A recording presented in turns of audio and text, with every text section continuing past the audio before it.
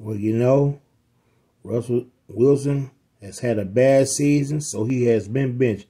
Everybody say ever since he got with Mary Ciara, he went down. Congratulations. They're having their third child, and his season went down. Ciara put them goodies on him. No disrespect to Ciara, but shit just ain't been going right since you've been around. Not football wise, anyway. Right, at least y'all made the money. At least, at least he haven't won since Ciara.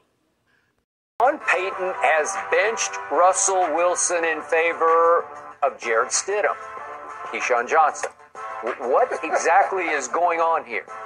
Man, it's the it's basically boiling down to being the end, Skip.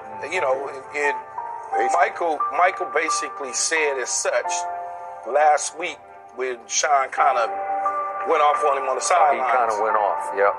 And the, it's a, it starts with money.